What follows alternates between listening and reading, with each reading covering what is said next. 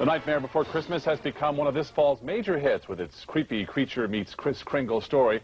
But it is the music that has Leonard Maltin going boingo. Leonard.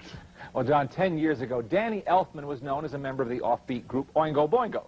Then he wrote the irresistible music score for Pee-wee's Big Adventure and launched himself on a career as a film composer that's still soaring. If you saw Batman or Midnight Run or even Sommersby, or if you watched The Simpsons, you've heard his music. And now he's added another feather to his cap with the songs and score for The Nightmare Before Christmas. What is this? It's someplace new. Not your ordinary animated film, and not your traditional Hollywood musical. The Nightmare Before Christmas is full of fresh and original ideas. Some from the mind of creator Tim Burton, and others from the musical imagination of composer and performer Danny Elfman.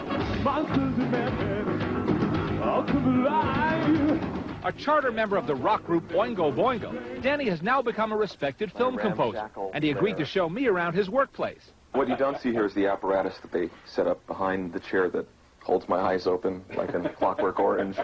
Danny's high-tech workshop enabled him to create professional-sounding demo tapes of all the songs for Nightmare Before Christmas and try them out for Tim Burton and director Henry Selick. What's this? There's white things in the air. What's this? I can't believe my eyes. I must be dreaming. Wake up, Jack. This isn't fair. What's this? What Elfman hadn't anticipated was doing the singing voice of his central character, Jack Skellington. I did the demos, and at a certain point, I went to Tim and I said, there's a lot of better singers than, than I am, but Jack is for me. He's, he is me. And um, Tim agreed. Developing the character with him was really, was just great. Suddenly, I really got to dig my hands into something and, and create uh, with this image, with this incredible image that Tim had given me, and, and these pictures, he had these great drawings that he'd done. And then to kind of flesh it out and try to bring it to life in the songs was really, was really wonderful. And we wanted to make it a real old-fashioned musical where the story is being told in the songs. Danny's respect for film music is enormous, but he's also inspired by a house full of artifacts he's gathered around the world, from Mexican Day of the Dead skeletons to a shrunken head and a disembodied finger of long ago. No wonder he identifies so strongly with the skeletal character in Nightmare Before Christmas. As bizarre as some of this may seem, and as wild as Oingo Boingo can get, when it comes to composing, Danny is serious and enthusiastic. No electronics for him. He's hooked on the sound of an orchestra. The whole fun of it, the whole insanity of it, is getting there in front of 70, 80, 90 pieces and, uh, and wrestling with this thing and getting it to sound right. It's such a great high. And that sound is a real high for moviegoers, too. So now correct me if I'm wrong. This looks like fun. This looks like fun. Oh, could it be I got my wish? What's this? He's a very talented fellow, and I look forward to everything he has on his slate, including his dream project, a live-action musical. That's something that'll be worth waiting for. Sounds like he could, could have a singing future, too. Oh, yeah, he definitely Yeah. His performances with Oingo Boingo are legend. Yes, well, and his singing on the track of uh, Nightmare Before Christmas is wonderful. Great. Thanks, Leonard. Thank you. Allowed almonds to be a little indulgent. Right? Halloween's been my favorite night of the year since I was six years old. It was the one night that I really waited for. Oh, yeah, you know, I mean, doesn't everybody? Get to dress up, free candy. It's great. I tell you, the older I've gotten, the more I like Halloween. It is an adult's uh, holiday in lots of ways. I've always loved it, just for the uh, from point of greed, going out with uh, pillowcases. We carry pillowcases on Halloween. You know, you see these other kids with the little plastic jack jack-o'-lanterns, and what are you going to get with that? I love the imagery. I've collected Day of the Dead images for 20 years. Uh, my house is filled with skeletons and mummified objects. and it's always fun dressing up. Obviously, if I've gone into acting, I must like being other people, so Halloween was a great excuse for that. Hi, I'm Danny Elfman. Some of you may know me as a film composer. Some of you may know me as the lead singer in a rock band called Oingo Boingo. Most of you probably don't know me at all, but that's not the point. I'm here to introduce you to the songs that I've composed and performed for a slightly unusual character named Jack Skellington. Now, Jack Skellington is the star of the new musical fantasy from the twisted mind of Mr. Tim Burton. Are you ready for the nightmare before Christmas? This is Halloween. This is Halloween. Pumpkins screaming in terror. We've got to find Jack! There's only 365 days left till next Halloween! 364! You have to imagine that every holiday is conjured up by this holiday world. And all they've got to do is make holiday all year long for this one night. Now, our story takes place in Halloween land. Jack Skellington is the Pumpkin King. But you're the Pumpkin King. Not anymore. And I feel so much better now. He's got a little problem. He's been the Pumpkin King for too long, and he's getting a little sick of it. And he's sick of all the glory and all the people, um, adulation, uh, always complimenting him. He wants something else. He doesn't know what it is. What is this? It's someplace new. So wandering out in the forest one day, he discovers a door. It's the door to Christmas land. He gets sucked into the door and discovers this new world, Christmas, and he loves it. What's this? What's this? There's color everywhere. What's this? There's white things in the air. What's this? I can't believe my eyes. I must be dreaming. Wake up, Jack. This isn't fair. There's a great song that Danny Elfman wrote called What's This? And he knows there's something in the air, but he doesn't know what it is. But he knows he wants to do Christmas. So he goes back to Halloween Town with the idea of doing Christmas this year instead of Christmas doing Christmas. What's this? The streets are lined with little creatures laughing. Everybody seems so happy. Have I possibly gone daffy? What is this? What's this? He's Jack at his highest moment. Um, he falls into this world and he's like a kid. Everything amazes him. What's this? What's this? There's color everywhere. What's this? There's bright things in the air. What's this? I can't believe my eyes. I must be dreaming. Wake up, Jack. This isn't fair. This is a thing called a present. The whole thing starts with a box. A box? Is it steel or locked? Is it filled with a box? A box? How delightful, a box. Of course, he has a tough time selling that to Halloween Land because he comes back full of enthusiasm. I must tell you about this incredible thing. And he calls a town meeting. Now he's got a tough call because he's, he's stolen all these things from Christmas Land to try to show. They don't understand. He shows them a sock. And they go, a sock? Oh, does it still have a foot? Let me see. Let me look. Is it rotted, covered with gook? He's trying and trying. They just don't get it. Sally, I need your help more than anyone's. You certainly do, Jack. I had the most terrible vision. That's splendid. No, it was about your Christmas. There was smoke and fire. The main character plays Sally, a girl who's really in love with Jack Skellington, and she senses that this is not something he should be doing, that he's in over his head or under his head or somewhere, and uh, and that he shouldn't be trying to take over Christmas. He sure is big, Jack. And happy. Let me go. Sandy Claus, in person. He wants to give them the best Christmas ever. So he kidnaps Santa Claus, which he calls Sandy Claus, and um, proceeds to do Christmas. And of course, he makes a complete mess of it, and they shoot him out of the air. The army has to be called in. And uh, of course, he realizes how badly he messed things up. And he has to set everything right, which he does, and it's a nice, happy ending. And what did Santa bring you, honey?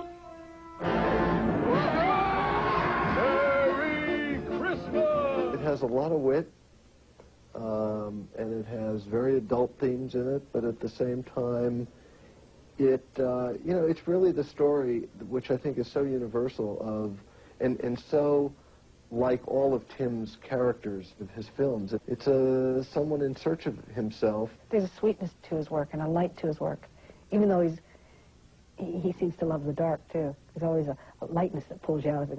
It's okay. It's a bat. Will it bend? It's a rat. Will it break? Perhaps it's the head that I found in the lake. It has the Burton look, and the Burton feel, and the Burton touch. It wasn't like any of our live-action movies. It wasn't like any of our uh, animated films of the past. Uh, it's completely new and different, and we were attracted to that at this time in the company's growth, you know. I think that they saw uh, that, uh, you know, it's a very simple story, you know, it's very simple in a way, and so they just sort of, uh, you know, said, okay. I met Tim years ago at Disney Studios. We were uh, two malcontents who sort of fell together uh, with dreams of doing more interesting projects. I met him in the late 70s. It was a time at Disney where it's like I just had, you know, just drawing things, you know. They, they didn't want me to draw foxes anymore because they were looking too deformed. Tim was, even at a very young age, a spectacular talent. And there were a few people at Disney who were willing to give him a chance to develop a few projects, greenlight very few. One of those projects was Nightmare Before Christmas.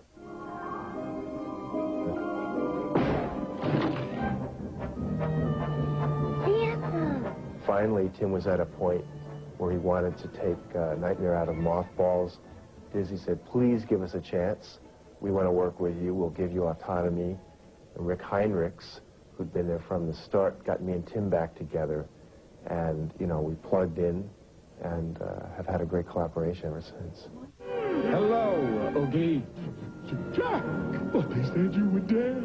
There was something about the three-dimensional animation that I always found uh, in certain instances to be more powerful, more real. I, I've never liked animation just for animation's sake. I always think it should, you know, should just serve whatever the story or, or, or is.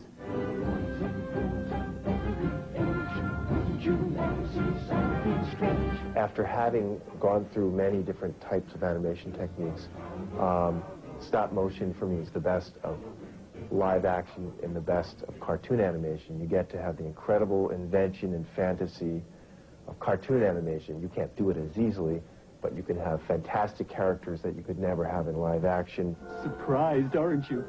I knew you would be. As you can see, stop-motion animation has come a long way since Rudolph the Red-Nosed Reindeer flew across your TV screens. When E-Features continues, we will show you the innovative new methods used to bring The Nightmare Before Christmas to life.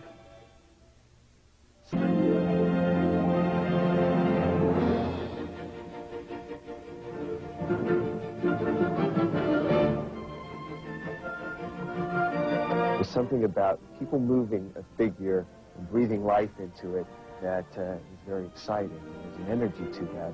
It's a beautiful art form. It's a very special person who could be an animator, you know, because you, it requires a lot of patience and it requires uh, you to be an artist. And those are sometimes, you know, the artistic impulse, which is in my more spontaneous to me, and that then the patience required are very hard things to integrate. And it takes a special crazy person to do it. Basically what you do is you pose Jack, take a picture of him, you repose him, you might raise an arm, turn the head, step back, take another picture. You're doing this in very fine amounts. You do it 24 times a second. Um, and when you're done animating a scene after three or four days, you've animated a few hundred uh, frames, you play it back and you might have five seconds of Jack Skellington without any hands in there touching him being alive.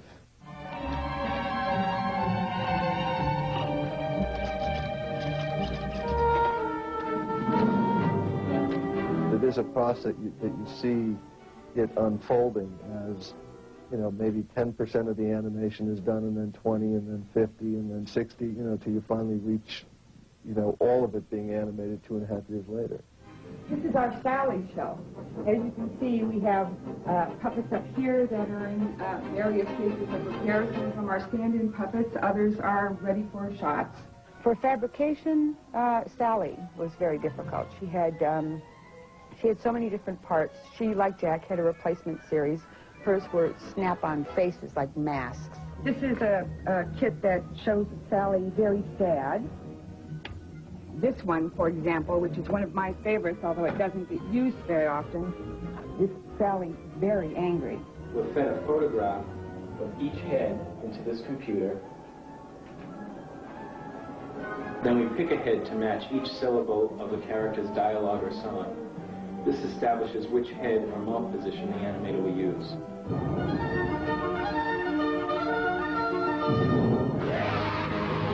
To do a smile, they have to go like, they have a head that's here, they take it off, they put on a head that's here, they take it off, they put on a head here, here, here, here, here.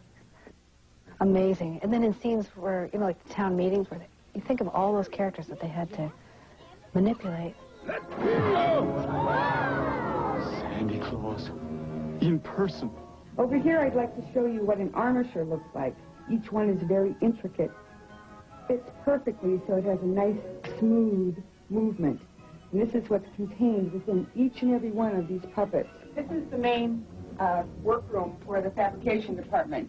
This is where we originally create the puppets, put their new paint job on when they first are made, and this is where they come up for repair and maintenance, kind of like a, a hospital or clinic for our puppets.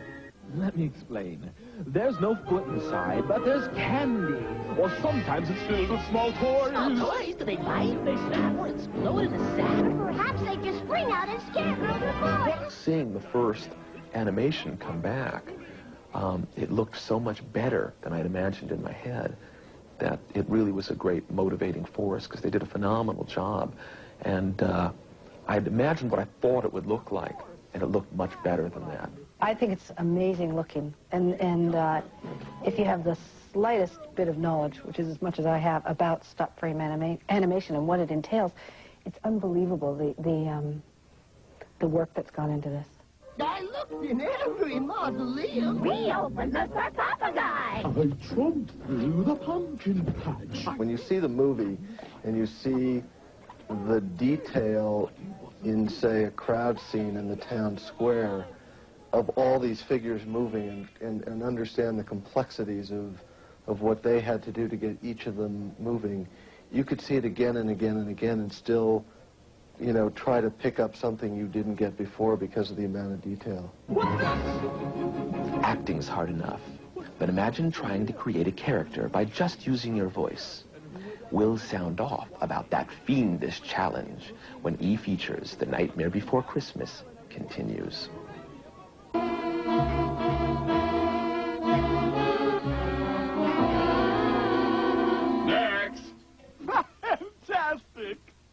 Now, why don't you all practice on that, and we'll be in great shape. When Tim started describing the character to me, it didn't take a lot of searching in my own soul to find what Jack Skellington is.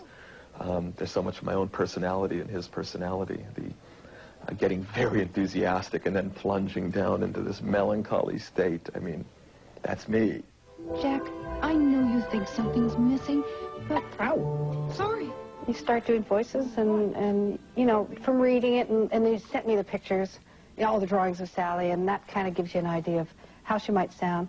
I actually, at, the beginning, tried to do more of a broken voice, because I thought her voice is as untogether as her body, you know, as stitched up as her body. But, um, but that kind of thing I think can get in the way after a while. It's like, okay, enough with the broken voice. So, now and forever, for it is plain as anyone can see. It's definitely a different kind of acting because they are dealing in, you know, sec, you know, milliseconds almost, you know, because because they stop and move something, you know, and then they shoot, then they move, then they shoot, then they everything's manually moved in between, you know, a split second of a shot. So in the acting, you're dealing in seconds almost too. So there's a lot of uh, focus on, you know, uh, two words in a line or, you know, or at the most one line, the way it fits in. And, and uh, you know, Henry Selick is, is thinking in these split seconds. So that's, that's the way you work when you're doing the lines, too. It's a, it's a different kind of acting. They always had the storyboards there when we were doing the voices, and Henry would always go through, you know, what, what exactly was happening. And he was always uh, very clear about, you know, they're being thrown down a chute now, and you got to scream, and you scream for this long and not this long, and you know. So yeah, they were very, they were very good at giving us a visual idea of, of what we were, you know, voicing. He's ancient. He's ugly. I don't know which is worse. They have you record the whole thing first, and then they animate or do the stop action to the vocal tracks. They took some some footage, I think, when I was recording the song. Uh, for some facial things, you know. B- being a stage actor, I can't do it without doing it all, you know. So they taped some of that. I think they did use I, the clips that I've seen so far. I did see a few things that look like. I said, well, that looks like me a little bit. And inside that burlap. The communication between Tim and I was also very, very straight, very clean, and very clear. So it was probably the easiest time I've ever had uh, working with him in the sense that he would talk about it a little bit, we'd talk about a little bit of the story, and I'd hear the song as he was talking, and I'd almost have to shoo him out the door and begin, and three days later say, you want to hear it? I've never known worked with him on every movie, and it's been great. You know, he's just another character in the movies, really. You know, and uh, and then this was a new thing, and uh, you know, so it was it was great. There's children throwing snowballs instead of throwing heads. They're busy building toys, and absolutely no one's dead. There's frost in every window. Oh, I can't believe my eyes. And in my bones, I feel the warmth that's coming from inside. Danny has an ability of such power in his music, and he can just force you along. And at the same time, he can drop back and do uh, a ballad that is so beautiful. And I don't know many that has can have the edge and the the, the force of his music, and at the same time can have the, the beauty of it as well. and sit together now and forever. I've known Catherine, because I knew her since Beetlejuice. So with Catherine and Paul Reubens, a.k.a. Pee Wee Herman, it was like working with old friends. I'd worked with them both. And the three of us did the scheming, uh, the Trick and Treaters, Trick or Treaters song, Lock, Shock, and Barrel. So that was just pure fun. The uh, shock was easier because it's real character singing, and because I had you know Danny and, and Paul for support. But um, I mean, we supported each other. Um, but doing my Sally song, that was scary because I've only done really kind of uh, character singing. We're simply meant to be. At some points, I'd sound like you know a choir boy. I excused it by saying, you know, Sally's not that well formed, so it's okay that she can't sing that well. When Mr. Oogie Boogie says there's trouble close at hand. Ken was fantastic. He was so enthusiastic. And I'd never worked with a pro before. I'd never worked with a real pro. So I'm used to working with just people who do this and do that and do other things. And, you know, Catherine is not a professional singer, and Paul's not a professional singer. Um, here suddenly is Ken Page. Not that I didn't love working with Catherine and Paul, but Ken comes in, he's like, wow, this guy really goes. Santa Claus, uh, ooh, I'm really scared. So you're the one everybody's talking about. Ha ha! The Nightmare Before Christmas continues right after this.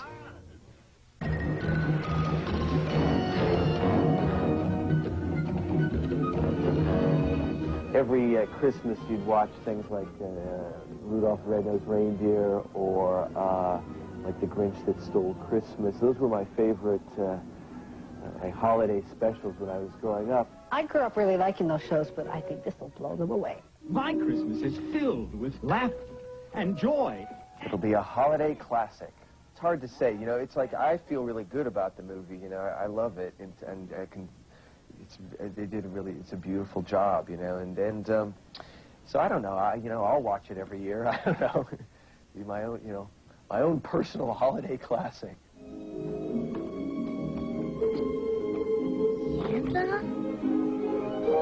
Merry Christmas! And what is your name? I hope kids discover it. My own daughter, starting at seven, began approving all the music for me. She's really the executive music producer, Molly.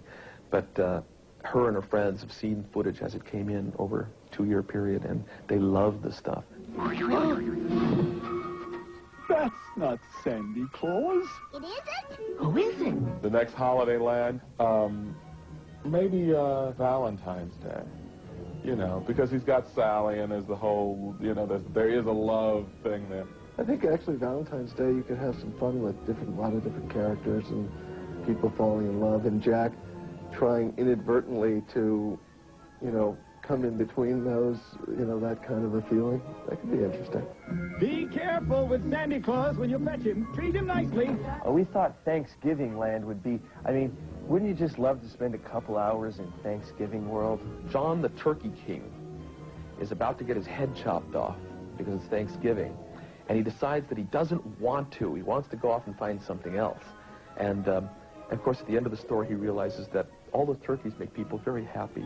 So he, as he's about to put his head on the chopping block, there he sees John 912 getting crowned for the next year. He realizes that life goes on. What do you think? I don't know. I have no idea. Um, you know, there's there's unlimited holidays, so we could do a lot of sequels. At this point, I hope that's not my ne- next movie. We've reached the end of our look at The Nightmare Before Christmas.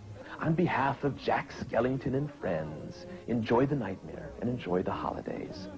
This is Danny Elfman. Goodbye. The sights, the sounds, they're everywhere and all around. I've never felt so good before. The second place inside of me is filling up. I simply cannot get enough. Coming up next, it's time for E Stand Up Sit Down Comedy with the comedy of, we said comedy twice, but that's okay, Mike McDonald. This is